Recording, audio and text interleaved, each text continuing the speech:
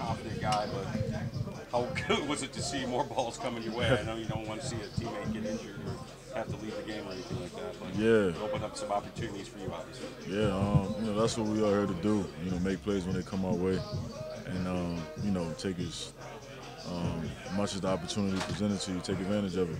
And uh, you know that's what I was, that's what I'm just gonna do every Sunday. And um, yeah, you know it's part of the game. You know, one guy gets hurt, you know, guys got to step up. You know what I mean? And uh, you know it's unfortunate, um, you know, but you know, that's, you know, that's the part that comes with the game. So. Yeah, talking to Arthur, he was really praising you for your versatility and how you're willing to do a number of different things in, in, in a number of different ways throughout the game.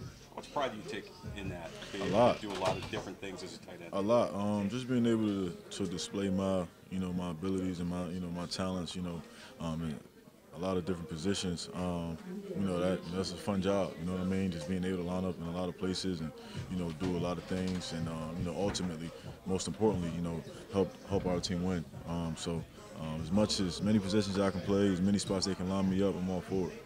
so many rack plays you've had so far this year. I mean, does your mindset change when you get the ball in your hand? Do you basically become like 22 or like a running back? Yeah, man, I, I, I, I, I, I become hungry you know, when I get the ball in my hand. That's just what it is. Um, as every ball carrier should be. That's the mindset every ball carrier should have. You know what I mean? There's nobody that can stop me. You know, that's the mindset you got to have as a ball carrier. Um, you know, just making plays, breaking tackles, and, you know, ultimately trying to get in that end zone. What are you, sorry. What, what are you learning about Tampa's defense? Um, they're, they're, they're really good defense, um, very good defense. Um, you know, it's going to be another challenge for us this week.